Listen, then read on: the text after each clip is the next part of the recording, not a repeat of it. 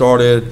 I believe the mayor might be a little late, and uh, Councilman Robinson may be a few minutes late as well. So we'll go ahead and get started with a discussion of the K-1 roof issues and options. Mr. Johnson, Yes, sir. Happy New Year. Happy New Year to you, council.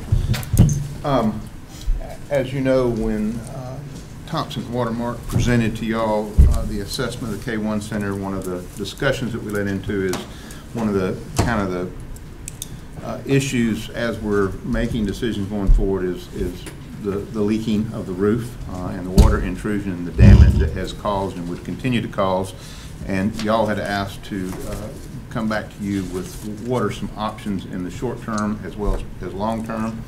Um, And you have in your packet uh, what they put together, kind of put out three options. Um, And they have uh, sent me an email with uh, even some further modification, I'll kind of go through that.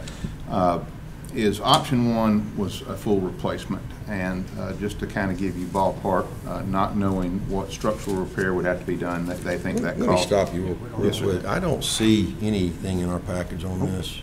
Oh, I- I you have apologize. anything? Yeah, I can, uh, and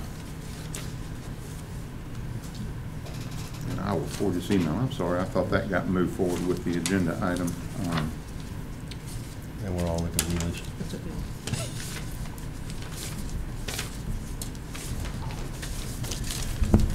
I'll give you that for your records, Mr. President. And uh, just to go through this, uh, they they put together three options for y'all to consider. um, And option three has an A and a B component, and I'll kind of cover that real quickly. But uh, bottom line, a replacement cost, which is a new roof, uh, they think would be 200,000 plus whatever structural repairs have to be made in the trusses and roof system. And they felt that they could do the complete engineering front and back on that for 11,800. Then they came up with what they considered a just emergency repair. That is to identify, based upon previous site visits and some further, the areas that immediately need attention and direct that work and complete it. Uh, They came up with a, a construction cost of twenty thousand dollars for those repairs and the engineering design and oversight of fifty-one hundred dollars. One of the things that they, they brought to me as at least to make you aware of, uh, when the hurricane that hit uh, uh, Mexico Beach last year uh, also did a great bit of damage to Tyndall Air Force Base. And actually Thompson Watermark got the contract to deal with the envelope damage to the buildings on the Air Force Base there. But the problem was the, the, the military realized this may be an opportunity to further repurpose those buildings or determine a long-term use for them. They didn't want to have to make decisions that pin them down, so they asked for a, an option to secure the building from water intrusion, but not such to put a brand-new roof on it until they decide what the future of those buildings were. And they came up with a welded HDPE membrane system that literally went over the whole top of the building, was pinned at the edges, and as they stated, gave complete water protection from the structure uh, as long as it was not punctured or damaged by people on top of the roof or anything of that nature. And uh, they said that as long as maintained, the, the, the attachments would, would keep the building dry for a long period of time. They estimate that that same type of program would be about ninety-five thousand in construction with the engineering of forty-five hundred dollars. And, um, Ninety-five thousand? Yes, sir. Uh, Probably the, and, and I'll just kind of read there. Uh, On option, they, they've redefined option as three A, and I will forward this to you as well. This would be a membrane capping of the existing roof that would be pinned at the perimeters of the roof. The membrane sheeting would be lapped and closed at sheet abutments. Termination bars with sealant mastics utilized as detailed areas. Pro, known high-quality product utilized after catastrophic storm events, watertight as, an- as a new, removed, and replaced roof, less than half the cost of a replacement, large amount of time for council to plan for future of the building use. Con, possibility of tears and perimeter detachment during strong storm events or impact damage. Fairly short-term cost versus, uh, fairly short-term versus cost, no labor warranty, but does have a limited product warranty.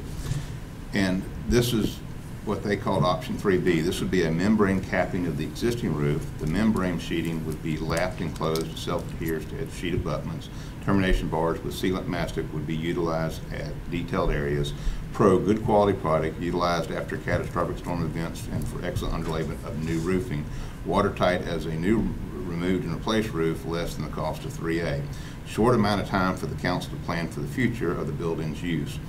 Uh, Product would begin to break down due to UV exposure in the three to four month range, listed as six-month life, but could possibly last a year. Con, short amount of time for the council to plan for the future of the building. Product would begin to break down due to UV exposure, three to four month range, uh, blah, blah, blah. Um, And he did not add a breakout of those prices, but I'll get that for you. But I, I, really what I want to talk to you about is, is which direction you want to go. I I will tell you, in my opinion, option two is the direction I think would be the most economically feasible for us, just get in and address where the immediate leaks are, get a repair patch job done, and then buy enough time for y'all to decide where we're going in the future. Uh, A membrane at ninety-five thousand, which is almost half the cost of a new roof, doesn't seem to be a good value to me. Richard, I've, I've talked to uh, uh, roof doctors in the past, and they can put, uh, it's a, it's a spray-on like elastomeric coating, and it comes with a fifteen-year uh, warranty on it. I, I, it's a one or two-year on workmanship, but I think it's fifteen years on material. I, I want to say that the city of Fairhope used them recently somewhere to, to patch a roof, and uh, they are uh, very inexpensive, and, uh, you know, uh, I don't, I don't disagree with you, the ninety-five thousand dollars for, um, now I'm just gonna be very honest, especially over the center portion of that building, which, you know, may be completely remodeled, you know, in the near future, doesn't make sense to put a new roof on that. Now, on the wings, maybe it does, maybe it doesn't, but we could still buy ourselves time, but this, uh, I would like to, to see what roof doctors could do, that the structural concerns need to be probably taken care of uh, soon, but I don't think that we have a lot of structural uh, defects, uh, according to that um, survey, that, that needs to be taken care of. And and then I asked, do we, do we need, uh, do we need an engineer of record beyond what, what you could do yourself to make those structural repairs? Um, No, not necessarily. The, the, the biggest issue is, is, you know, between me and, and Lance, we could probably go and determine where the, the- where the worst areas are and, and consult with those that do it on a day in, day out business of what they recommend as repair and put together basically a scope of work and get it out on the street. Uh, I will just tell you, as far as Roof Doctor goes, they have been the, the leading winner of pricing for roof jobs for us lately. I believe that they, I know they did the Quail Creek Clubhouse just recently, and they, their price was far, for the same product, same materials, was far less than any other quotes. And I believe they also did the section of the PD. Uh, they, they came in low quote on that, so. But they do more than, you know, they do metal roofing, they do shingles, and they also do a spray uh, elastomeric coating, which would, would, you know, would, would give us plenty of time to do, do anything. It may be another low-cost option.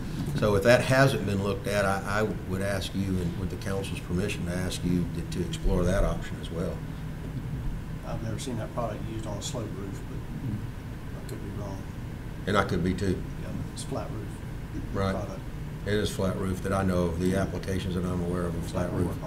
But it, it, it- I think they can put it, uh, I think they could put it on a slant roof.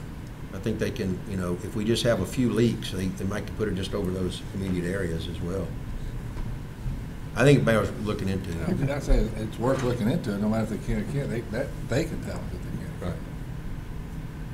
And they'll tell us if they can't. So you, so your option two, I think, I think the option one and three are definitely out. I mean, just for the cost. Well, The and- two hundred and the one hundred, I mean, we don't know for sure what the design of that building. May look like on the roof. the so- option two was how much? They estimated the, the, the actual construction cost of twenty thousand and the engineering, design, and oversight of fifty-one hundred dollars, so a little bit over twenty-five thousand. Yeah, I'd be in favor of option two or either.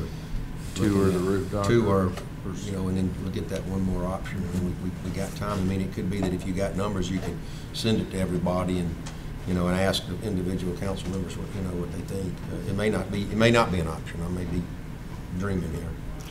Well, and I think, you know, I, I have no fear of, you know, the good news is, as part of their assessment, they gave us a roof plan, so we, we have that information.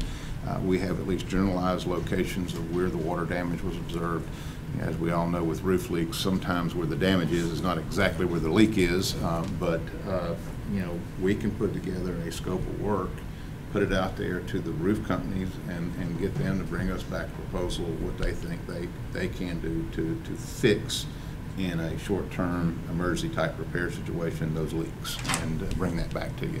And there'd be no cost of getting that question answered. So what I'd ask you to do is if you could get us, just a- maybe if we got a little bit more information, uh, so that by the next meeting, we could come in here to the work session and, and have maybe a resolution prepared to adopt that. So in, in other words, we're not kicking it down the road for another Okay. month, but maybe in two weeks have a, have an answer and get something passed. Does that sound reasonable, council? I think we can get that put together and get that out there. That sound reasonable? Mm-hmm. Because it wasn't going to go on tonight anyway. so No, sir. It'll sir. go on next agenda, hopefully, irregardless of what, what options we have, and then we can, we can vote Very yea or good. All right, thank you, sir. All right. I have a direction. All right, Ms. Walker? You got Brandon with you? Yeah, Brandon. Oh, that's Brandon? Yes, yes, sir. How you doing? You let him in here? I did, I did. He even brought y'all a packet. Yeah, I've got some information awesome. for you guys. uh, To, we'll, we'll just kind of go through it briefly. I don't want to take up too much of your time. I know you guys have more important things to deal with. um, But, uh, These were here, yep. So yes, uh, my name is Brandon Gertz, and I'm the location manager for a feature film that is for Amazon Prime. It's going to be an Amazon Prime original, um, and it's being uh, produced by FilmNation. And essentially, the story uh, focuses on uh, a heartfelt love story between two teenagers that are caught in a repeating day scenario, kind of like the movie Groundhog's Day, where they constantly re-experience the same day over and over again. And the boy, the main character Mark, is having a great time. He's helping his family. He's helping out people in the town. He's going around and solving problems. He's enjoying making a perfect day out of that opportunity. And he meets a girl who's experiencing the same thing, and she is not having quite the same experience.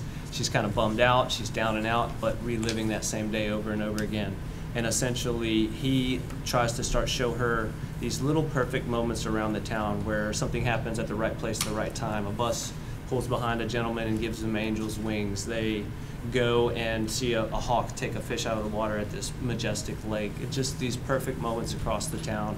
And from there, they start to enjoy finding all these little perfect moments. They go around the town and make a map.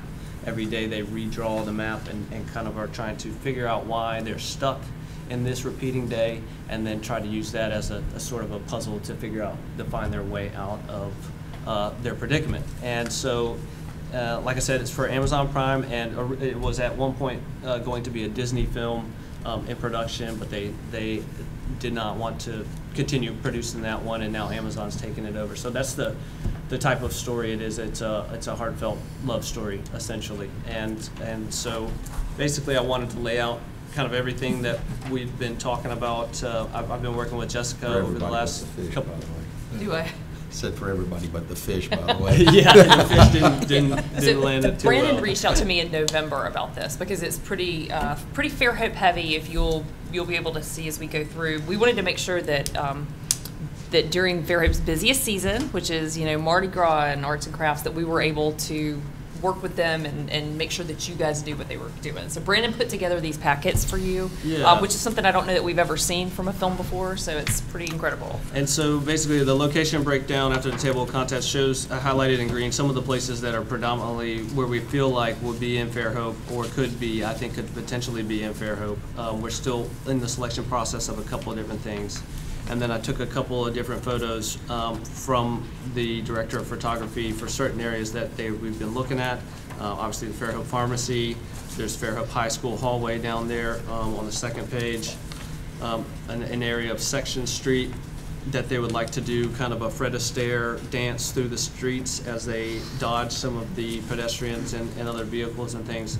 Uh, there's a picture there of the Public Works area where there's a scene where they, they um, pick up an excavator and use it to save a kitten from a tree. Um, and then the interior of Fairhope Pharmacy and then out there on the streets. But, but just wanted to show a little bit there. And then pass the permit and uh, there's a breakdown of what these Fairhope locations are looking, are shaping up to look like. Um, Fairhope High School uh, would be a portion of a day, and uh, a couple of scenes at the Coastal Community College as well. Um, The Fairhope Animal Clinic is one of their top choices for what would be an animal shelter and a vet. Um, A scene in there where the gentleman is trying to track down somebody who's lost their dog. Um, And he goes to basically several different places where people would be with animals. Um, The hospital, we're looking at Thomas Infirmary just for the interior work on, on the third floor uh, to not do more of our exterior work there because of the impact there. We're, uh, I've shown them Thomas Medical Center up in Daphne, which has a lot more closed hours and a lot more feasible of a, of a place for us to conduct our exterior filming there without causing an impact to the hospital here. Uh, Public Works, uh, there's a mansion that we've been looking at, a couple of different options that I think won't necessarily be within city limits, uh, but maybe some of the supporting sites, or, uh, in general, I just wanted you guys to know that that might be a possibility. But, um, the back door to Walk by the Bay is a place that we're looking to use as a, as a, a- a connecting point as they travel through uh, a walkabout from, they actually travel out of that diner, which is supposed to be coming out the back door of Book Inn. So they leave the Book Inn, they come out of the Walk by the Bay, and then they go and continue on to a restaurant and, and down the street. Um, Fairhope Library, the exterior is a focus, um, an, an opening scene, and the interior is something we would be looking to film at. Uh, Vernon's Barber Shop. We did find a house for Margaret's um, in the Fruit and Nut District that I showed them this morning that they are uh, showing interest in, so that, that, that may be an area where we um, film Margaret's house. And then there's, towards the latter part of our shoot, we've set up uh, some things for the downtown area, which would be pretty heavily involved in a, in a, um, a, uh, something that will be kind of a, uh, more of an impact uh, to the downtown area than has been for films in the recent past, um, probably in the last six or seven years, I would believe. Um, But something that I'm putting a lot of focus into and a lot of conversations with the business owners and with the streets department to try to make uh, an effective plan so that we can execute the filming um, and that everybody's aware of when and what we'll be doing so that uh, there's no cause for concern um, and that everybody's aware of that process so that they can adjust their schedules um, to make it uh, efficient for anybody that needs to, you know, the patrons have their, their normal access as much as possible during that time frame. And one of the things I'm looking at in doing that is actually combining two of these closure days into one day, which I'll talk about here in a little bit. Um, But as you pass through there, So Jess, let me step in for Yes, just a sir. minute. So the only, the only real conflict that I see, and it may not be a conflict at all, it just kind of jumps out, at, is that uh, February the 15th from 1 to 5:30 at Coastal Community College. Mm -hmm. Uh, And that's is- interior, is that correct? Yes, that's, a- Okay. that's. it- That's that- when they have the MMOR parade Absolutely. and KOER parade that evening. Yes, but Um, that, he's talking. I don't even think it's on the either route, but It could be a sure problem, but. No, that, Traffic. yeah, because our, our transport and, and our support stuff would be something that we wouldn't want to be in the way of that parade or anywhere near that, so, um, that's something I'll definitely need to revisit with them. Um, and then I have overheads created for each of the different locations for each of the different days. It kind of goes with a detailed overhead of where those locations are and what the support, the, the minimal support would be on site. And then if there is a police closure after those locations, there's a police closure map. Um, Again, day five, day six, these are ones that are on the outskirts of the city limits, and most of our support and traffic and uh, impact would not be in the downtown area. Um, I really wanted to focus with you guys about those downtown setups as I think some of these other ones are more typical standard, and um, being shorter time frames, half a day or a few hours at a time will be at each location, so that there will be minimal impact and, and something that will um, be an enjoyable experience and not an extended stay.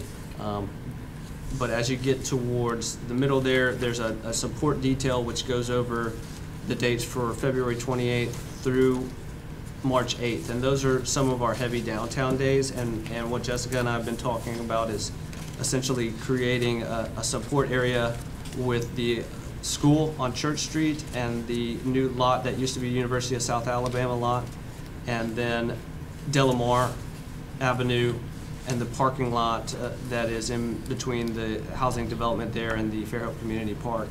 And most of the residents we've been talking to, they all park on this far eastern side to access their apartments. So essentially, we would try to leave a good portion of that right bay or, or eastern bay, and then we'll take a little bit of the western bay for our trucks, stage a, a couple of our trucks and some of our equipment on De La Mare, and that would essentially provide us a logistical point to then move out to some of these scenes that follow on the next few pages to um, minimize the amount of equipment and traffic that goes on in those areas and kind of contain where a lot of our equipment would be so that we would be focused in on where these different areas of filming would be uh, for each day.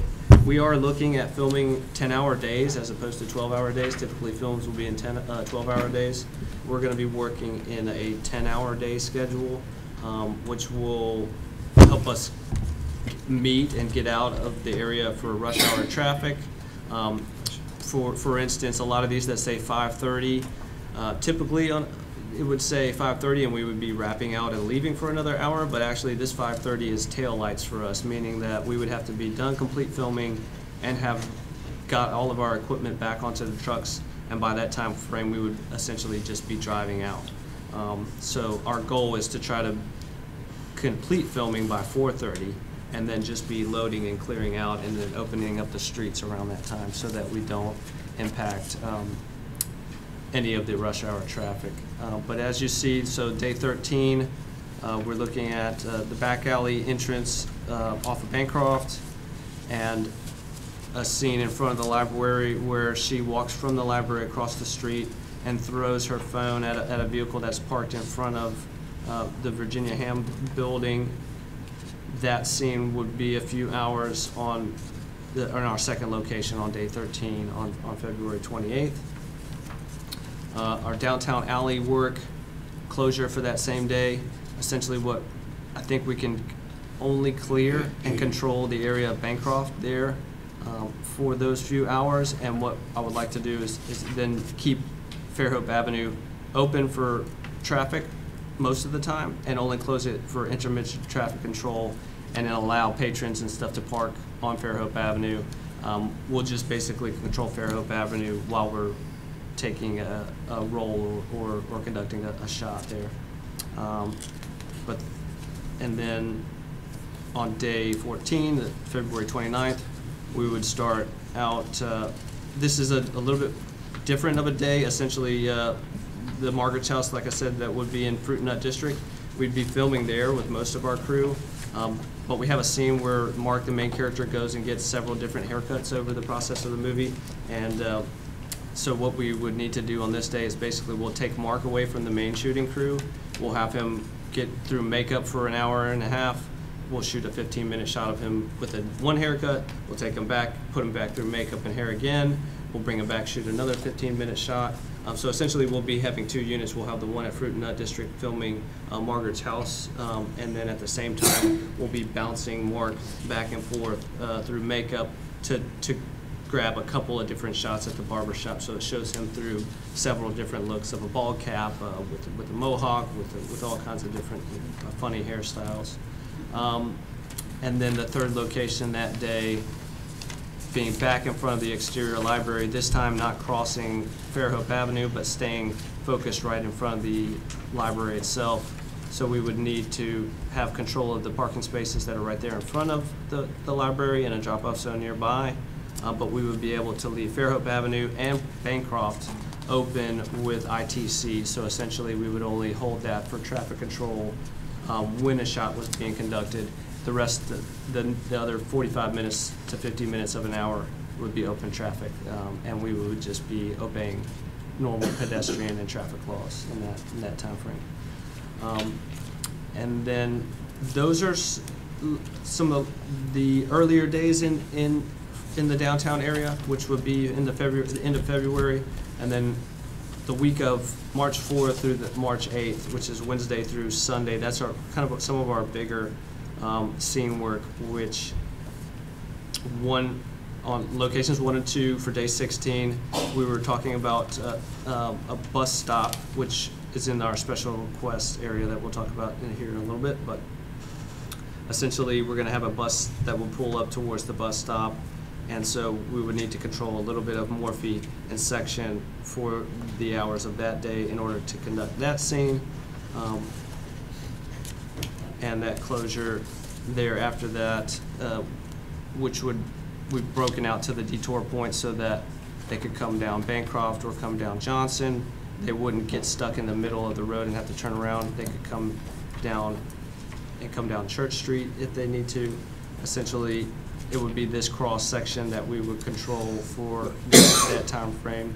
Uh, Essentially needing to keep it clear so that, for safety and for the community and for the crew, so that no patrons come and then park within inside the shot, and then we hold ITC, but they're within inside the containment, and then they come out of their, whatever uh, store that they would be in, and then they're, they're inside of our filming zone. So these would be why we're having to ask for such a large area is because of the scene work um, involving so much on the street with the actors and with the crew. Um, We just want to make sure that the community and the crew are, are safe during those sections. Now, Jessica, I've been working with them to focus on De La Mare. Unfortunately, the look and the feel of De La Mare didn't offer them some of the things they really liked, obviously, uh, on section of Fairhope, is why they've selected so much of that. Um, But in particular, there's two scenes that I would like to try to combine so that we could do them both on the Sunday, because I know that's one of the, the uh, less active days downtown. Uh, Sunday morning is where we focus one of our scenes. But on day 17, near the pharmacy, there's a scene where Sean Bean um, comes up to the stoplight and, and they say hello to him a couple of different times throughout the uh, movie as the, the day repeats. Um, and there's also a scene where they both uh, take a steamroller from that same uh, construction site and pull up next to somebody who's driving a, a car and kind of nod at them in this intersection here at, at Section at Fairhope. Um, and then also on day 18, same area, there's a, a scene where they would like to have them leave from the Fairhope Pharmacy and they walk across the street and down the street in, in kind of a dance, a Fred Astaire dance-like moment where they're talking and also avoiding pedestrians and kind of skirting around cars and moving throughout the streets as if they have totally know where everything is going to be at that moment and then heading towards um, Dr. Music Records, um, shop, down on the end.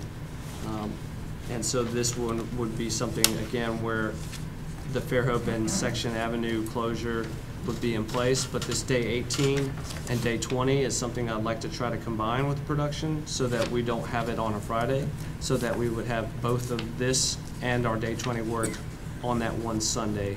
Um, Because right now, it's looking like we have a Wednesday, a Thursday, or at least a portion of a Wednesday and a portion of a Thursday, a portion of a Friday, and then the morning of, of that Sunday. So I'd like to try to take more of the time there at the Sunday. We'll keep the same closure um, and be able to execute both of those scenes.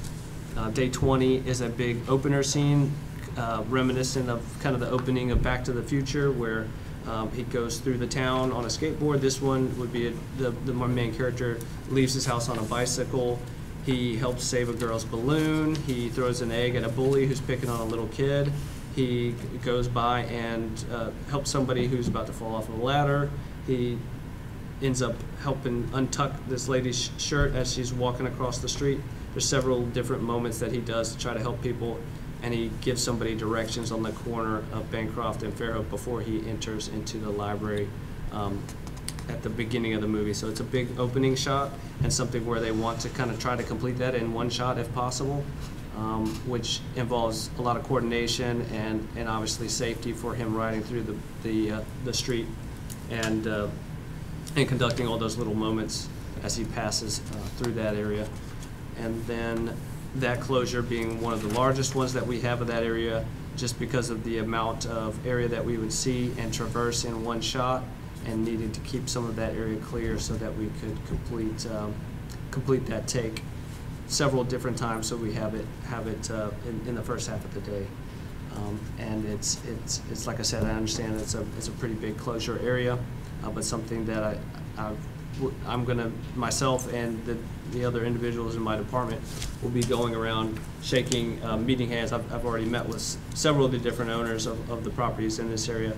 We're basically gonna have a conversation with them, explain to them what days we'll be out there, make sure they all know what the process would be like, um, and, uh, and try to give them all, all the information that we have so that they're a part of the process and understand, um, and can help us make that a- as uh, successful of a day as possible, um, which, which, which I've, which I've done several different areas and, and, and, uh, for several different films. I've actually done about six here in Lower Alabama, two in Birmingham, but I travel uh, up and down the southeast. I've done films in, in South Carolina, North Carolina, Georgia, Florida, Alabama, and Louisiana. Um, so the special request page, uh, very quickly, just uh, that yellow box at the top is showing kind of where they would like to place that temporary bus stop. There'd be no alterations to the property, essentially a, a Moody fabricated bus stop that we would place there for that scene, and then we could remove um, upon completion of filming. And then we were also looking at the white uh, wooden waste receptacle containers that are all around the street. Um, They would like to have permission to relocate those whenever we have a shot that would have them in the street, and we'll replace with our own movie uh, waste bins. Um, And that's something that we would, would like to do on Fairhope and in section for a couple of different scenes.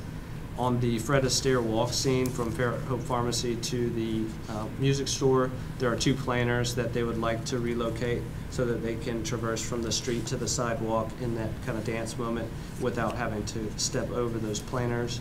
Um, Like we discussed before, for the downtown support, we're focused on keeping most of our equipment and things on De La Mare and at the old school property and the parking lot next door to minimize the movement and, and traversal in between these days, keep them all in one place so that we don't have loud noises or anything going on early in the morning or late at night, um, and that it will keep most of the heavy equipment and bigger equipment away from the downtown streets, and really what we'll be dealing with the most is our closures um, for the filming process.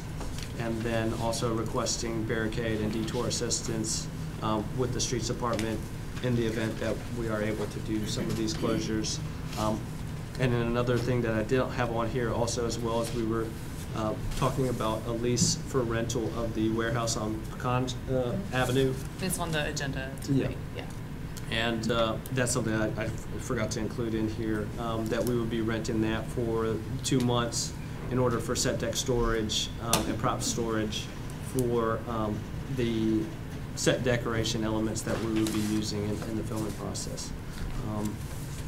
And that's the quick overview of a lot of it. There's a whole lot of more information I could go into detail about right now, but I I don't want to bore you guys with movie stuff when you have more important things to worry about. Um, But I'd be happy to answer any questions that you guys may have. So anytime you have a green on the street, and you have a cleared street, that's a closed street? Yes, sir, and, and, and, and open to what I can talk to production about.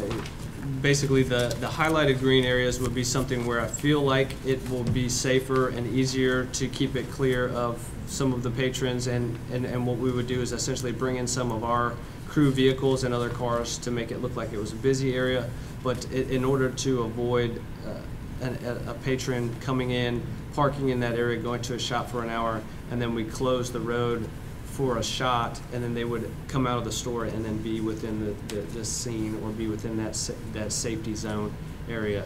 Um, some of these are, seem like, you know, I looked at it, I'm looking at day 18 on Friday, March the 6th. You know, you've got a fair portion, all of, almost all of the CBD portion of Fairhope Avenue closed from 7 AM to 5 PM. You got a lot of Section Street closed from 7 AM to 5 PM, and, and then there's some, you know, several examples of that. If you look at day 20, like you pointed out earlier Yeah. there, uh, quite a few streets. Uh, A couple of things. First of all, I'm, I'm very concerned about how the merchants will take the very lengthy uh, street closures. And secondly, we've got a lot of projects going on downtown in which we already have some streets closed. I mean, are- are people going to be able to drive anywhere downtown? If you take, you know, the northern end of the town and, and you look at what's already closed, I, I don't know, that work may be wrapped up, but you've almost got a situation where you can't even drive through town. I'm concerned with that. Uh, This seems like, there's quite a bit of street closures here, eh, quite a bit. um, And they're for very extended periods of time. And they're not just for a couple of hours on the, in the, in the evening uh, for a parade. They're, they're somebody's entire business day.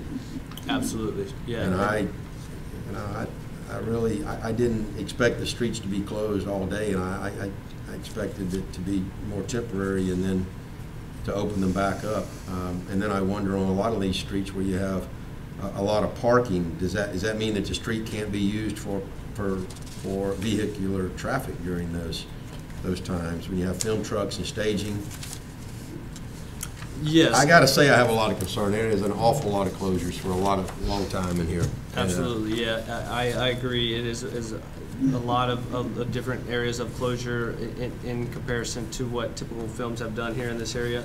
Definitely, uh, so, so to answer your question about the De La Mare Avenue, ultimately, like I said, I would like to try to keep some of those on those lots. And what we would have was a minimal things here on, on De La Mare, but we would be able to leave some of that open. Um, and then in reference to the day eighteen, the reason why that is so long is because they have attached the Fred Astaire Walk to some of the pharmacy day work. And depending on where they had that scheduled, I, I, we would need to kind of ultimately have that cleared for the daytime from the morning, um, because it's difficult to clear a street once uh, it's been open to the public. It's hard Right. to kind of get everybody out at that point. Um, and that's where I would like to try to get them to, uh, especially because it's a Friday, take the, the, da- the Fred Astaire dance through Section Street and combine that with the Sunday work so that we would lose our, our closure here on Friday. Um, so it would only be Wednesday and, and Thursday, we're back open on Friday, open on Saturday, and then closed again on Sunday. Sunday Um, morning, right? Sunday morning, yes, ma'am. And, uh, and what we can do, um, before the next city council meeting is we can, m- myself and my department, we can go by and talk with every one of these owners on, on the, uh, section in Fairhope Street where all of these closures are, basically for every one of these closures. We'll talk about every day of that closure and kind of bring them up to speed and kind of give them a packet. We can even have them kind of do a sign off. Um, what sometimes what we'll do typically is, is go through the whole process with them. Um, I'll probably end up doing some location agreement contracts with them to insure their property, make sure they're liable free for any all activity, um, to make sure that they are protected for that process. Um, there's language in our agreements that make sure that we take care of their property um, as well. It's, it, it, it will be difficult for us to make, full compensation for, for certain things that would be going on. But ideally, um, this, uh, this is an early stage for us as far as our planning is concerned, so I'd like to feel like a lot of these times would be consolidated or, um, what we, where essentially we could shoot out the scenes that would require that closure, and then, for instance, move into the bookstore or move into um, the Dr. Music or move into the pharmacy or move into some of these areas. And then once we get inside and are off of the street on that place, we can open up traffic and, and make it back to normal traffic and normal access for all the patrons in the area. Um, And, and there may be ability for us on a lot of these different scenes for us to place uh, businesses or open signs on each side of the sidewalk and allow pedestrians and patrons to come in walking uh, from the sides to access these stores, uh, because we're essentially be looking down one area of section um, for each one of those shots. So it would be open to the public uh, via pedestrian traffic, but something where we would try to avoid having some of the cars in there. And, and at this point, it is a very early preliminary um, plans that I've put- together, and I kind of wanted to put more than we would need so that I didn't come back to you guys later on this, the next city council meeting and ask for more than we're asking for at this point.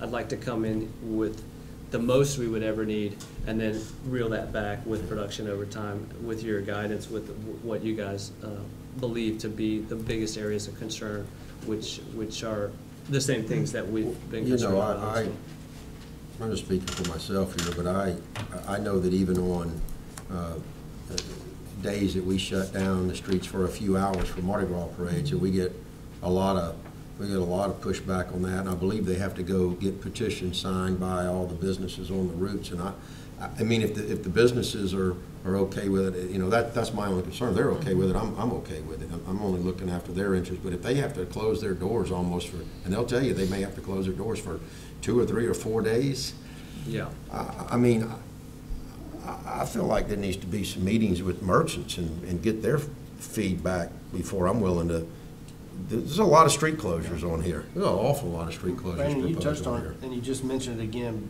just so I understand, when it says cleared streets in the little packet, that means cleared up pedestrian traffic unless y'all open it up to Correct, pedestrians. yes, sir, yeah. That was my question too. Is it just tra, is car truck or pedestrian? Most of, the- most, uh, some of those things would, would definitely require pedestrian, uh, control to come out of those, essentially, because if we, we allow the pedestrians to come into these different shops, and then we start a take of, say, the bike ride or the dance scene coming down the road, and then those pedestrians or patrons come out of that store, they would be in the area of filming. Um, what we can try to do is figure out, you know, a, a system to work out with, with these shop owners to, uh, it, it just, there's so many different shops that it would be difficult to get the, you know, to have a- an individual, I'm sorry, an individual in each one of those stores with a walkie for communication with production to then communicate to them, like, that they wouldn't be able to exit the store at that particular moment. Um, But it's, a- it's a plan that we can try to figure out too as well. If we want to try to leave more pedestrian areas open, what I can do is work with production to, to pick the areas, only the areas that they need to have control for pedestrian and vehicle traffic. That way, we would be able to allow as much of the business that would go on in that area for that time frame um, without, uh, without impacting that. But yes, sir, it's, it's ultimately becomes a, a control issue for, for the safety and for the community and for the crew as we're driving around or have the equipment or, or have the actor moving through that space. Um, It, it, uh, it'll, it, there's so many points of entry. Um, That's where, uh, like even on some of these closures, we have um, traffic assistance areas where we would try to help make sure that nobody would come out of some of these alleyways or side streets where we wouldn't have a police uh, officer to, in order to make sure that we are keeping a safe containment area for that, that scene work. Um, And so it, uh, essentially, yes, the- at, at this point, those are the, area- those areas in green are places that I feel like it would be beneficial for the safety and for the community and for the crew and for the filming process to have some of those areas cleared out. Um, But that's something that I can go back to production and, and try to see what other plans we can try to do to make that What less else? of a- a. a- And that's one reason we wanted him to be here tonight, because we No, I wanted to appreciate have it. these conversations, and he, I mean, he did something that they've not really done for us before, which is put together these shots of what it would look like and what the closures would look like, so that we could all have the conversation. Um, PD has got a copy of this, we'll get a copy to Richard as well, but that way everybody has an opportunity to, to find their, you know, where they are. We want you to all be on board with it, we wanna make sure that we're doing the right thing for our citizens and, and for our community. Um, And I, and I totally understand. I mean, I've, like I said, I've done this in different cities, Tybee Island, uh, in Georgia, we did Baywatch, and we had closures of the beach in the middle of the summertime, and we had every parking lot of the beach access from the north end of Tybee Island to the south end of Tybee Island, and we had a guy riding a motorcycle up the boardwalk, all the way down the pier, um, and we had to close all of that area down for, for days on end, and so it's, it's obviously not ideal, or not something that I would even want to ask to do this much work in the downtown area, um, but the way the script is and what it really features is the downtown environment and the fact that they explore the town and find all these little moments and help all these different people, it's something where that's kind of where they put their focus, and, and, and Jessica and I have been talking to them about De La Mare and Church Street and Summit and some of these other areas, and they have looked at some of them. They obviously want to go for the most picturesque and the most beautiful areas and the most, um, the ones that tend to typically be the busiest for business and things that impact, so it's, it's something where I totally understand where this is a, a big endeavor and something that will have more impact that would be in the downtown area than any film that's been here in, in quite some time.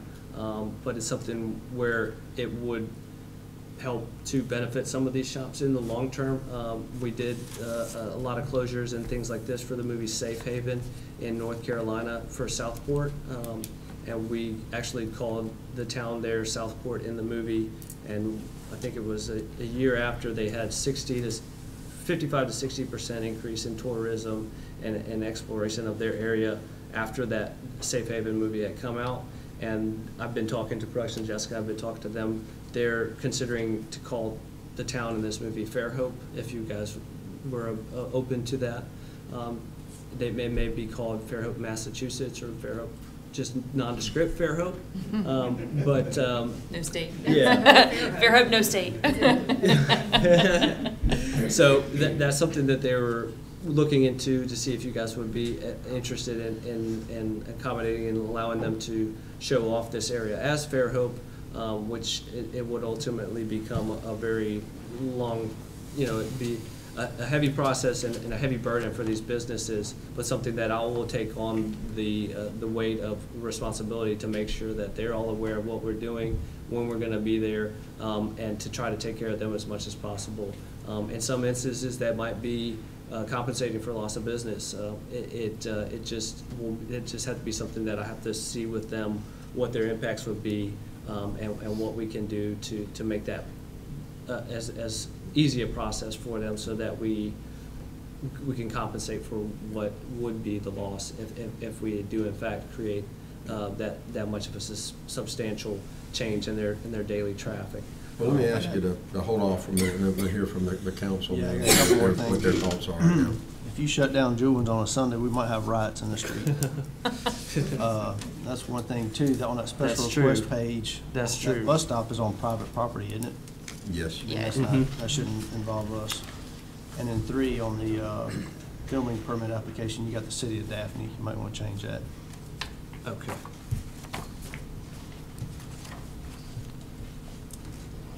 Uh, any other comments?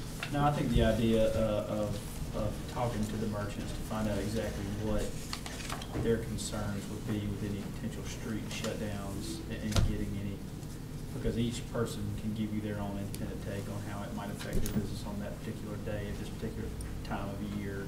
But that's really hard for us to gauge, and so uh, that would be my advice, and just kind of let us know what that feedback is. And I think leaving it open to pedestrians, just, if you can do that, I mean, if you gotta have, some, you know, some guy on the sidewalk on each end of the street, you know, stopping people while the filming's going on in a certain spot. Yeah, and, and I. Make the parking garage better well, Just think that, well you know, known. depends on what the merchant. Yeah, park up there, it's not ever a close. Sure.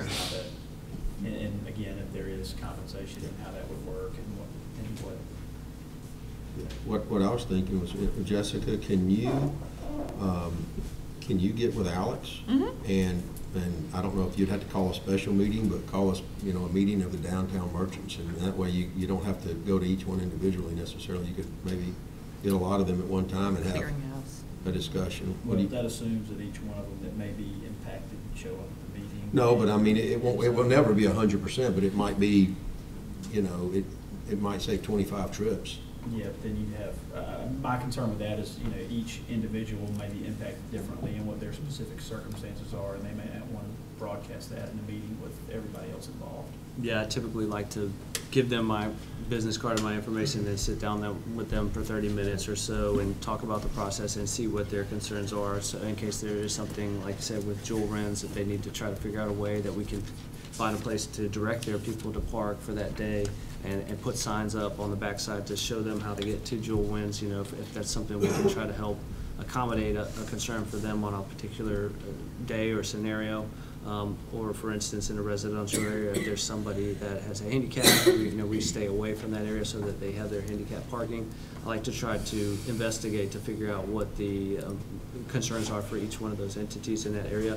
Obviously, this, whole downtown area being a larger area of, uh, and a lot of different businesses, uh, but something that we will definitely, as a team, spend the time necessary to make sure that we, we understand what we're, what we're doing and how we're affecting the, uh, the business of these places so that we can report back to you guys before this next city council meeting and say, these are the areas where, these are the concerns for, for these businesses, and this is how we'd like to try to, to address some of those concerns. That's a lot of work. Do you think you could come back with some feedback before the next meeting?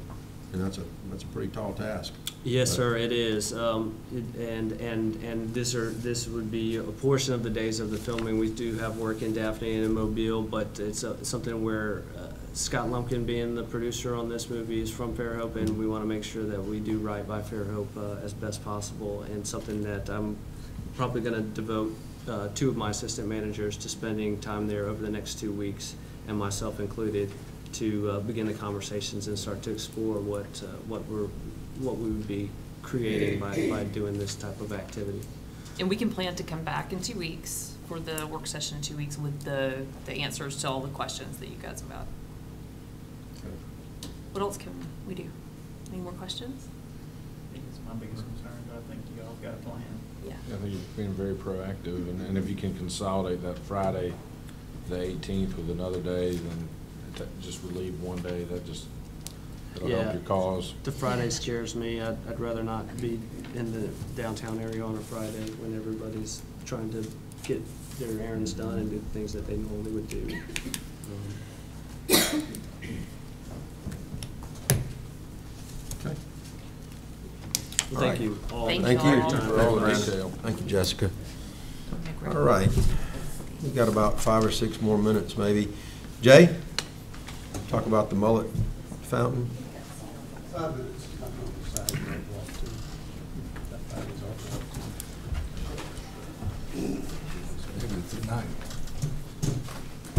Good afternoon, good evening. Uh, Back in the fall, I was asked by the mayor and Richard Peterson to go look at the mullet Fountain. I'll be honest with you, I didn't even know where it was when they asked me. I went and found it. It was in um, disrepair. Uh, We tried to do some things to it. Um, We were unsuccessful. Uh, The the um, director of the museum at the time called the artist to see if she wanted to get re-involved in it. I brought it to uh, your attention. I piggybacked on the work session meeting and told you we didn't even have the plaque right. Her name's never been right. It is right now. I have the plaque in my office. It's ready to be reset. And um, she wants to be involved with it. She's picked out some tile. I know the tile's very expensive, um, and I understand that. But I will say this, the plan is to uh, reopen, as you see up on there, uh, we want to bring the pavers out to the road. And we believe by bringing the pavers out to the road, currently they just go to the side. Uh, Nobody uses the pavers. I think that uh, we'll take out, with Richard Johnson's help, I've spoken to him about this, uh, we'll create a walkway and we'll open up uh, the path directly to the museum so people have a better uh, view of it. In the summer, when you have the most of the foot traffic, you can't see a lot because all that is green and it's overgrown. So, um, you know, we we're going to have a rededication and everything. I don't, you know, I, I think it's a worthwhile endeavor if, if you agree. Uh, I think it'll bring more foot traffic into the museum and certainly, um, you know, this is our artistic community. So that's why we brought it to your attention. We looked at different uh, ways to uh, pay for this. And I, and I uh, acquiesced to Ms. Creech. She said that it has to have a home first, from an asset standpoint. That's correct, right? But uh, if, you know, there's not a lot that I'm capable of doing. We're going to have to uh, hire it out one way or the other. So, uh, and I do know that the tile is expensive, but I do also know that I think there's a benefit, if you agree, um, long-term. Uh, I think that a lot of artists will look at how we treated this, and we have not treated it very well in the past. Um, And I think that it may, you know, energize some people to get re-involved, or maybe even donate some more artwork. I know this is a commission, I know that we paid for most of this, or paid for a great deal of it. So I'm going to ask you guys, we- it's, we don't have to decide tonight uh, at all, but just to think about what you want to go and how you want to go forward with it. Well, I think we need a little more information. I mean, for instance, you- you're saying that, that the artist recommends new tiles, and, and at council, what happened apparently, uh, you know, uh, it was a saltwater fountain. Uh, Right. It was, uh, chlorine was placed into the fountain. HTH, it's a, it's really a strong chemical. But anyway, yes, Uh, that's correct. Chemicals were placed in there that, uh, I guess it fouled up not only the pump, but it, but, so that's the, some of, some of the questions I have. Are, are the tiles, are, are there tiles there now and were they No, ruined, there are or is it- pebbles. There's a- Is that, is that even, I'm hearing new tiles, but is it replacing tiles that were ruined, or is this just kind of reinventing the, the fountain now? I mean, did it, I it think there's a- discolor the copper? I mean. It did, a- it did a lot of things. Can the Uh, copper it- be reconditioned? I don't think the copper needs to be reconditioned. The outside, uh, it, we didn't realize it, uh, but the outside got seams, the cracks were in the seams, it was leaching out of that. Uh, We've replaced, the uh, we repaired those uh, in-house. We have a really good welder, Ray Mina, who repaired those in-house. Uh, The main thing is, is the tile will go around where the pebbles you see now, because the pebbles are falling off, and the pebbles are going into the pump and and causing the pump uh, to be uh, jammed up. Now, we got all the rocks out now, but they're going to continue to fall off. So either way, the rocks have to come off, and it'll be that strip around the top. Uh, Again, the only thing I want is, how do you want us to go forward with this? What, what, what foot do we want to set forward with this? The tile was recommended as a replacement for the rock strip that's around there, the pebble strip that's around there. They'll take that off and they'll put the tile around that strip, if that's what you would like. Now, the tile, I realize, is extremely expensive. Yeah, well, put a number on that, what's that? Fourteen thousand dollars. Yeah, it's a lot, but it's gonna be hand laid and it's gonna look like mullets and stuff. Listen, I, I get, you know, when she hit me up with this, I, I was the same way you are. And, and I just am wanted to know how you want to proceed. I only have five minutes. That's I'm okay. Well, what are the other options, though? I think, well, we don't, we Well, don't have there's, anything. there's any option, we own it. The- the- the- We don't even have to fix it if you don't, I'm, I'm well, not trying to be to- For ridiculous. instance, the pump. I- I've heard, you know, an option to to convert it over to chlorine because all the other pumps use chlorinated water. Would it cost more? Could you leave it as salt water and just tell, uh, and for, for the, for the record, it was not Public Works or any of Jay's, it wasn't Water Department. Nobody, nobody did that. Mm. Uh, But can they be told, all right, if we keep it salt water, uh, we can, That- know, refurbish it? I mean, what- the what's the, pump- what's the- the best alternative for? All right, the pump, the pump is a, is just a minor cost, and, and, and I handle, my department handles all the heavy maintenance on all these anyway. I can absorb that, that's not an issue. But If we go to salt, I'm we go to asking from a standpoint of, you know, do you, what kind of water do you want going into that fountain? When She wanted comes to that salt. Copper, it She should wanted be salt, salt water. right, it should be salt. But here, uh, uh, we can handle that end of it, that's not a big issue. Is tile the only big issue. issue then the tile? Is that the big Right. sticking point? Yeah, and, and some of the work to go with it. So, I mean, the whole cost is, I don't know how much we can do ourselves. I can't lay the tile, um, but the fourteen thousand dollars to start with, and then there may be some associated cost um, with laying the tile, and then, there's some that we, there's some things we can do in-house. When, you know, as far as the repair goes, my electrician that I have in my department can fix the lights, we can replace the lights. We're not looking at labor, you know, any labor costs in Where, that. where is the tile? Just around the, the water line? Uh, Swimming yes. pool, mhm. scum Yeah, if you ever, if you go over there, I'm sorry I didn't take a picture of it, I didn't think, but it's about a, a foot or maybe more all the way around the inside edge. At the top, right at the top of the water line. But you can see, if you ever look at it, the rocks falling out now. Does it have to be there?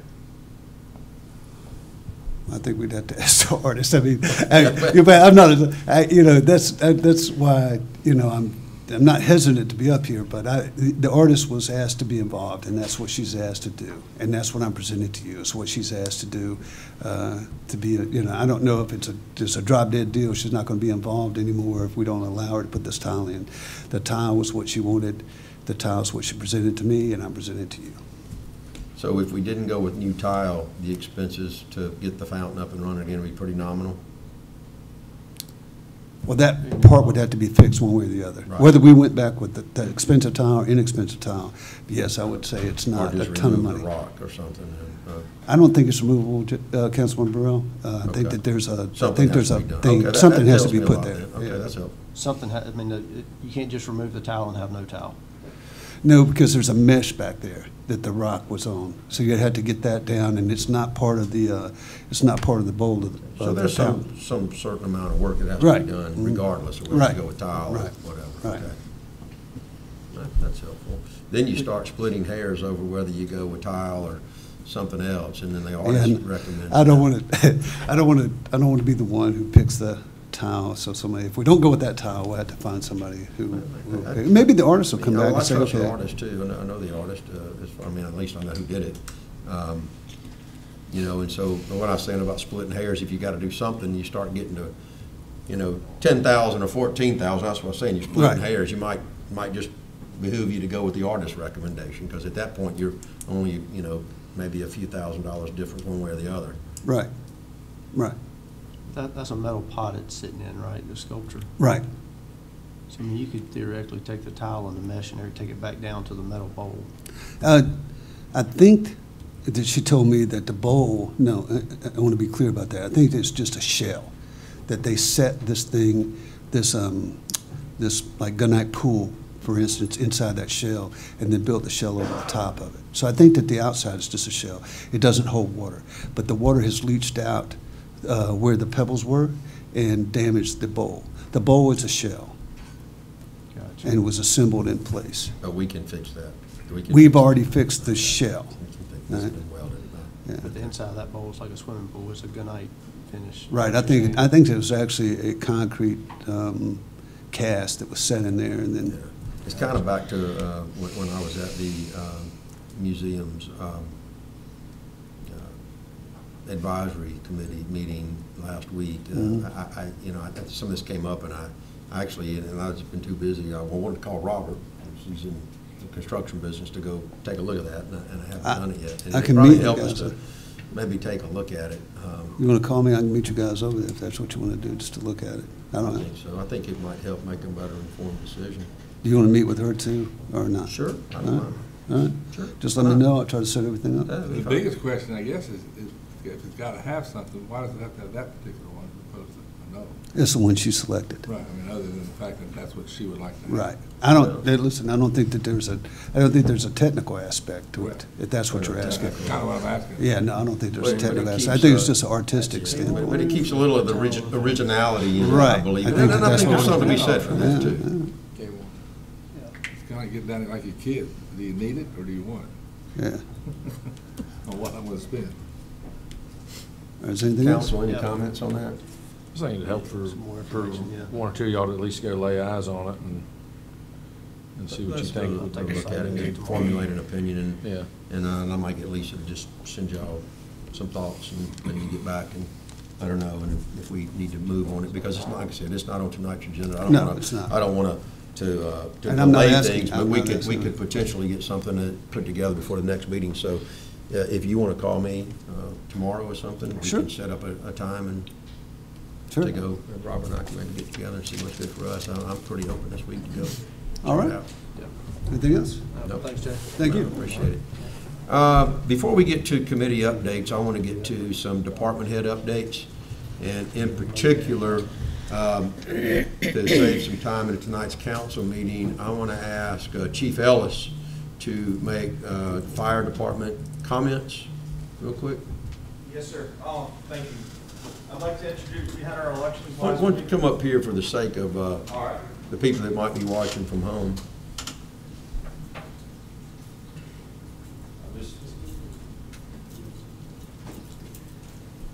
Thank you, Council President, Mayor. Uh,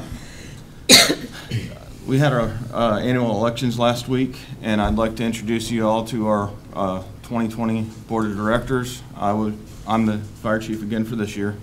Uh, In the back, we have David Thomas, he's our Assistant Chief. Uh, Dalton Combs is our Assistant Chief. Uh, Rick Stuardi is our our Secretary. And uh, Mark Palucci is our treasurer again for this year, so. That's our board of directors for 2020, and for our calendar year 2019, we ran 1,023 calls, which is a third year in a row we've broken a 1,000. So, just a quick update. Well, thank you, Chief. Thank you. Congratulations to all, the- to you. Thank you. And to all the new board members. Appreciate what you Thank do. you. Congratulations. All right, thank you. Uh, I'm going to back up now. I wanted to make sure that we got that in before we ran out of time. I want to back up to committee updates and uh, start with you, Jay. Do you have any committee updates? This year. Okay. Jimmy? Uh, The only update I have is the Historic Preservation Committee is um, working on an update to the proposed ordinance about forming a Historic Preservation Commission. They're gonna be on the work session, I think the last council meeting in February, to Okay. just discuss Okay. pros and cons with y'all. All right. Robert? Uh, the Ped Bike Committee did not meet, uh, this month. The new Fairhope Public School Commission met last week and elected the chairman, Ken Cole. Uh, Vice chairman is Kerry McLemore, and secretary is, uh, Miranda Shrubby. So the officers were elected. We discussed, uh, what the roles of the commission is. That was it. Thank you. Kevin? Actually, we had a harbor board meeting, and I was out of town. You were kind enough to step in my place, and you have it. Well, I'll give a quick update on the Harbor Board meeting. Uh, uh, We did have a a quorum there, and uh, there were plans uh, that have been drawn, some renderings uh, of of a vision for the uh, Fairhope Docks Marina, and I believe it was very well received by, you know, all the members in attendance at the Harbor Board. And I won't, I don't want to you know, uh, steal all the thunder from Lynn, we'll, we'll be unveiling that. I think maybe, are you, are you gonna present that at the State of the City? Um, Maybe? Certainly can. We'll be introducing the rest of the councilmen to it on Okay. Wednesday. We haven't Okay. seen it yet. Right. So we can have it ready for, It's just kind of a master plan or vision for, uh, for that, for that area, and just how to, uh, you know, control the traffic through there. Uh, And uh, it has a, what would you call it? What'd you call it? A poor man's yacht club? Poor Man's Yacht Poor Club. Man's Yacht Club is just a, a sitting area and just uh, maybe a terrace there by the uh, existing uh, boat shed.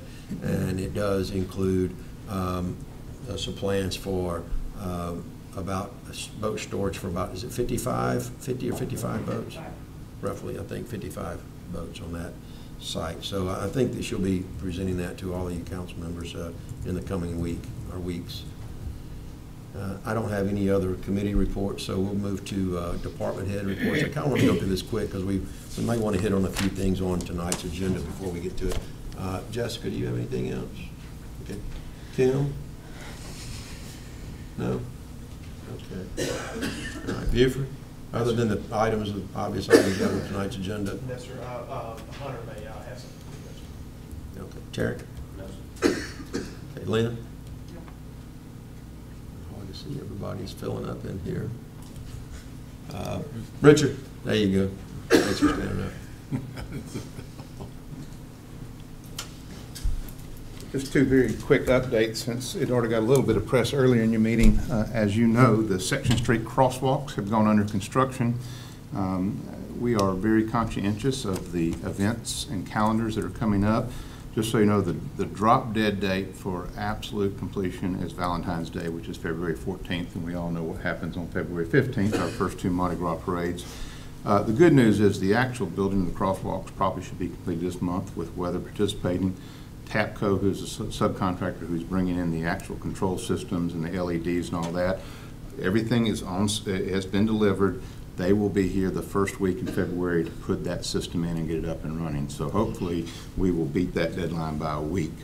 Uh, Also, just a very important to us in the city, and I think it's very important to y'all as well, um, I- I've had the honor of serving with Mr. Allison and Ms. Creech and Mr. Cortinas as an interview team for our safety coordinator position, which you funded in this year's budget. Uh, I will tell you, we had the opportunity to interview six outstanding candidates. I think that we have at least arrived at a top two consensus, cons- uh, consensus. They're, they're very close there. Uh, We're going to be uh, sitting down with the mayor hopefully in the next day or two to, to give our recommendation and move forward there. So we're excited about that, and that's kind of a big step move uh, forward in, in a safety program for our city. So those are the two things I want to share with you. And we are, we are doing our best to keep everybody informed about when the closings are uh, and when it's not going to be back open at night. And, and our PD has been just so wonderful to work with us, and, and, and we've kept them up to date as well. And uh, But when there is going to be some concrete work, there may be a closing where it doesn't open up back that night because that concrete has to cure for the recommended amount of time. So, thank you. Yeah, thank you. You go. Chief, do you have anything? Okay. Jay, anything else? Hunter? Uh, we, I'm gonna stay here unless y'all have questions. The twenty-second at two P M, the planning commission is going to have a work session for Greeno Road overlay. Um, Anyone's welcome. We are gonna have that more of a roundtable discussion at the Nix Center. We finalized that location today, and we'll be sending out our advertisements tomorrow. What time is that gonna be? Two P M. And we're gonna, that was during the day, because we did get some complaints on, we're always meeting at night, so the planning commission next month will also be kind of a rehash of the same conversation, so we can maybe get two groups. Okay. Michael? Uh, The only thing I really, really quickly from the electric department is the big power transformer for Twin Beech that had failed its initial testing. Um, They rebuilt it and it did pass. It'll be here in the middle of the month. Okay, all right, thanks. Eric? No, sir. Ben? Oh, wait, you don't have staff? Uh, Marcus? None other than. Oh, I didn't see. Pat, Pat, were you gonna say that? Okay, yeah, Pat, I didn't see you there. All I really have is the uh, pickleball courts are near completion. We just need final walkthrough to open them up for play. I take it you're a pickleball player, that you, since you were up to speed on all that? Uh, there's some, Pat, Pat's done some good, a good job identifying some stuff with soccer, trying to get soccer in line with what the other rec leagues are doing. And, uh, there, there's some of the field usage issues that, that they're ironing out. But I didn't know if you were gonna talk about that tonight, or you got something I haven't planned on it, but I can. I, it, I don't know, there were some people that may have, or were coming tonight, or may have come tonight, I don't know if they are. Soccer league is being run a little different than what rec football, rec basketball, or rec baseball are. They are paid coaches, they are paid administrative staff with soccer. There's no franchise fees, there's no business licenses with these folks, and so I think Pat's done a good job right now of identifying what's going on and trying to corral that with, you're giving them franchise agreements, is that right, or going to? We talked about this just yesterday, day before, so, uh, I think Pat's doing real good, trying to get a handle on what's going on out there. And it's, it's also an issue with regard to field usage. There's some teams that have been cut out from using the fields. Uh, We've only got three of the nine fields right now that are for rec and for intramural. The rest of them are being used for these pay academies and whatnot. That, um, and they're, they're excluding other teams that want to come in and use the facilities. And I- again, I said, I think Pat's, Pat's got a handle on it, working at it, but uh, we're working on everything, just to let you know what's going on. You straightening all that out, Pat? Okay, yeah, I would remind, I think we had, you know, we had brought this up a couple of months ago at least about the franchise fees, and, and that has to come to council for approval if somebody's using, uh, you know, any of the rec facilities to, to coach or for profit or for any of that, so. I so. was gonna give an update on that too. Just, it just needs to be added to the work section. You want to do it now? Um, Can we you do don't it have now? everything. Uh, I think that Prepared, was, but- that was our last, that was our last, uh, department head. No, I know, would just list us on the work session and we'll give an update on everything. So, Oh, okay, all right, very good. Um, Anybody have anything else for the work session? We're well past it, we'll move on to the agenda meeting real quick. The five will be a public hearing. Uh, Six, if anybody has any questions about that, uh, lease, I'll be happy to answer any questions that you have about that. Um, Jessica uh, will be on hand to ask, uh, answer any questions about the Pecan Avenue property uh, lease. Um, Number eight, uh, I know that uh, Kim has been working um, with the MediaCom agreement, and I know that the new, um, uh, how would I say it, the um, the consultant that's, you know, helping with the, uh, whether it be MediaCom or the cell towers or whatever, has, has been looking over that and providing a lot of, a lot of good input on that. Uh, The Fairhope Film Ordinance, uh, once again, uh, Jessica. Jessica, to save some time for, uh, in tonight's council meeting, will you come forth and kind of highlight the changes uh, to the film ordinance? Sure. And you should have it in your, if you have a book, you should be in there. Oh, it's just mine? There's a highlighted. Yeah.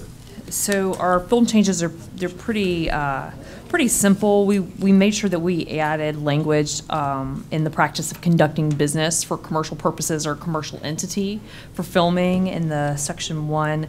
Uh, We also are, we're also changing the time and what time, uh, when the application should be to us, so. Well, yeah, and let me, let me back up on that. Just- And the reason, uh, you know, that Jessica changed that is that, you know, if somebody's out there, the, the way it was worded, it said all filming. So Mhm. technically, you'd have to get a permit if you were out there videoing your kids on the sidewalks. Obviously, that's absurd. So it means now that it takes it down to more if you're out there filming for commercial purposes. Um, So if you're using city property, we're asking the application be received no later than 21 days ahead of time. That gives us the option to get it onto the council agenda. That's something that you guys have to look at. Um, If you're not using city property, we're asking that it be received no later than 14 days ahead of time. You'll see in that ordinance uh, that we're adding in certain cases, exceptions to the application deadline can be made at the direction or discretion of Community Affairs Director and the mayor. Um, Jack suggested that we add that. I do you think it would give us a little bit of leeway. Uh, We also have included, um, you'll see that, that language multiple different, multiple times throughout. Um, But prior to the granting of any filming permits, the one-time application fee. So for low-impact films and commercials that are less than 15 minutes in length, we're asking for an application fee of $500. That's down from the $1,000 that we've typically asked for.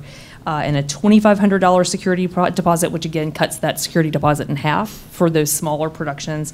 For uh, high-impact films or commercials that are greater than 15 minutes in length, that continues to be that one-time application fee of $1,000 and the $5,000 security deposit. Um, we want to make sure, we just added a little bit about refundable deposit, and we've added some, some changes, uh, or we just clarified some language in there. But we made sure that we said that all production companies, commercial entities or companies filming for a commercial purpose must obtain a City of Fairhope business license, bef- license before filming can commence. This is something we've always asked for, but we're making sure that we spell that out in the ordinance now, so that there's no question and and kind of, you know, spells it out for us. One other thing is exemptions. Um, We added one more line to the exemptions section, that's section 10. Um, And that is that local news organizations that routinely report on news and events concerning the city of Fairhope are exempt, provided that the production is low impact. Uh, Because again, our language before said everybody should obtain a filming permit, and we wanted to make sure that we were allowing that business to, to continue. Any questions? Again, is that, it says a permit application required for any film. Is that news companies or anybody? I'm sorry? That was the exemption. one of the exemptions. Yeah, that's one of the exemptions. I'm looking up. On section Here, here we go, 10. Right here, this is. Oh, I don't have I know, yeah, well, I've, I've got it, this little I'm with you. bridge, so at ten, it would show that they are exempt. No problem. Because obviously, they come over and film a, Yeah. know, twenty-second, thirty-second segment. They're not, they're not, a you know, putting together a feature film, and they do it routinely. Uh, and we also, um, Well, basically, it's the same thing we discussed. It is, Prior meeting. absolutely. pretty much everything we Yeah, discussed. no problem. Yeah, we just got it in That was words. all okay. Okay. All good? Okay. Thank you. Thank you. All right, uh, 10, uh, if we had a question about the GovDeals, uh, who would we ask? Is- Richard. uh, Richard, okay. Um, The street drainage improvements on item 11, if anybody has any questions about that. That'd be you, Richard, okay?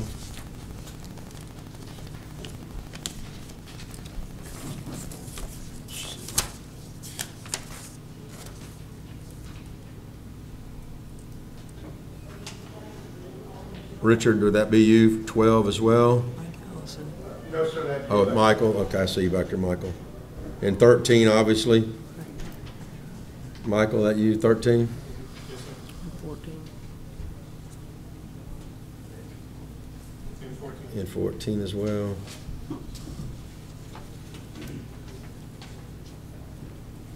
Okay, and all these, uh, and these are mostly all budgeted items, so we have Pat there, but um, I think these were all discussed in budget. Uh, there, are there any of these, has anybody looked at items real quick, if you could, 15 through, 15 through 20, I'm sorry, 15 through 21? Are there any of those that are not budgeted items? They are all budgeted items? Okay.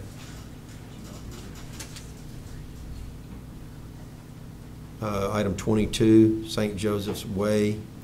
That's Richard. I think that's just standard operating procedure. Uh, Item 23, um, is that going to be, Lynn, is that going to be you? Jeff will be here. Jeff will be here, okay.